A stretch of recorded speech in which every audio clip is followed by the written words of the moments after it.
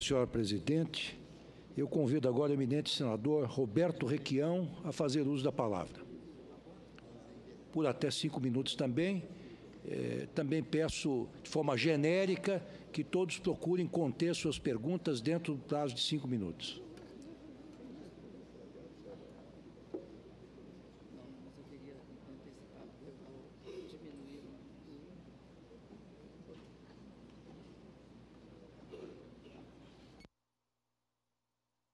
Presidente Lewandowski, presidenta eleita do Brasil, Dilma Vana Rousseff. Antes de ontem, eu estava num comício no Turvo, centro do Paraná, região pobre, de agricultores que vivem em extrema dificuldade. E um deles me pergunta, Requião, você vai falar na reunião com a Dilma no Senado Federal? E eu disse, vou. Ele me fez uma recomendação.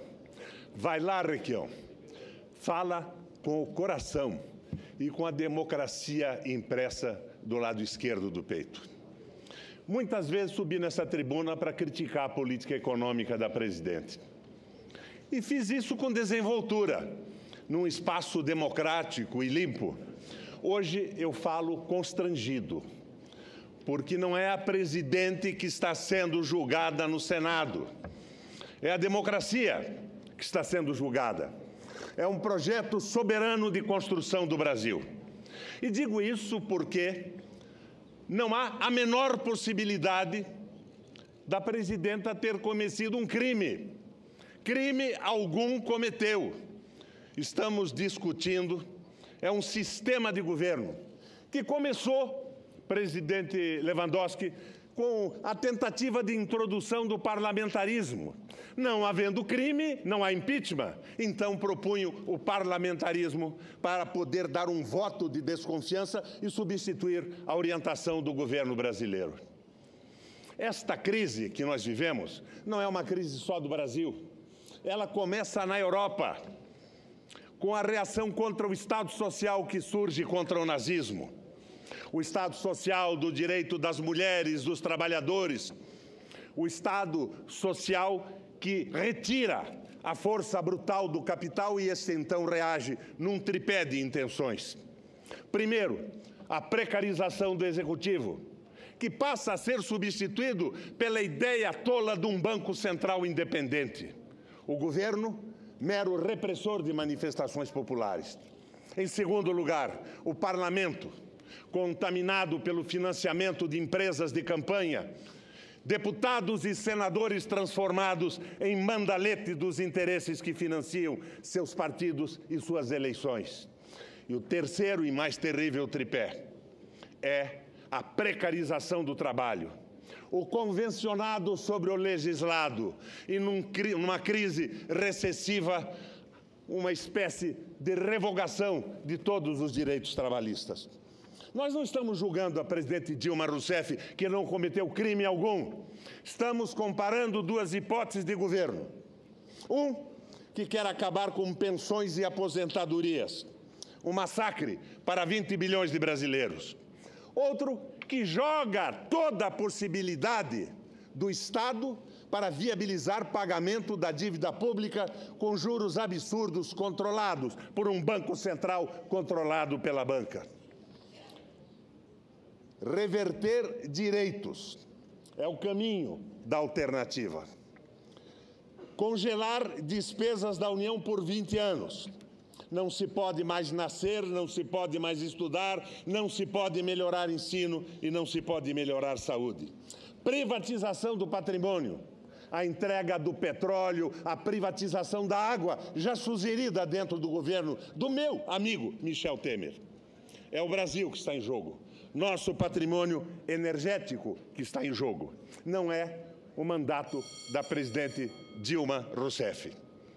É uma ilegalidade absoluta, não há crime. Isso aqui é um simulacro de júri, onde os interesses fisiológicos vão ser discutidos. Presidenta, Algum senador do meu partido, no exercício do ministério do seu governo, contestou alguma vez a sua política econômica?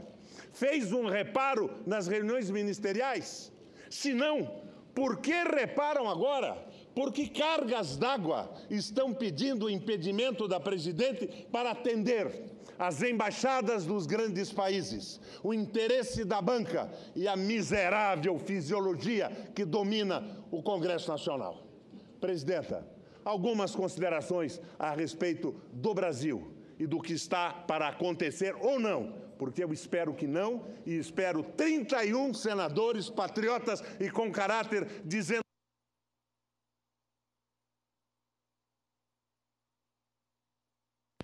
Agradeço a Vossa Excelência, senador Roberto Requião. Com a palavra, a senhora Presidente da República. Não aplaudam, por favor. Não aplaudam. Agradeço, senador Requião. Posso continuar? Por favor. Agradeço, senador Requião, pelas suas palavras. Eu gostaria de me congratular com o senhor pela sua manifestação, porque eu acredito que, de fato, nós temos de repensar essas relações que existem entre a política e interesses é, econômicos no nosso país. Mas, sobretudo, o que eu, eu queria mais destacar, senador, é que, sem sombra de dúvida, até o momento em que, oficialmente, o plenário do Tribunal de Contas da União levantou as questões que levantou, os chamados seis decretos de crédito suplementar e as subvenções do Plano Safra, até esse momento, em, não é só nenhum ministro que integrou o meu governo questionava, nenhum funcionário do governo tinha esta posição. Nenhum funcionário de todos os órgãos técnicos e jurídicos, Ministério da Fazenda, Ministério do Planejamento, órgãos, órgãos de cada ministério setorial, jamais questionaram este processo. Não é um processo que é feito no gabinete do ministro. É um processo que cumpre todo um ritual. Como eles chamam, é parametrizado, ou seja, ele é como se ele tivesse um protocolo de funcionamento. Quando ele chega para ser decidido, ele é um processo que passou por todas as instâncias. E é isso que, que explica que este processo é um processo transparente, claramente compatível com todas as previsões legais e as práticas adotadas até então. Não houve por parte do governo nenhuma pedalada. O que se fazia era a praxe.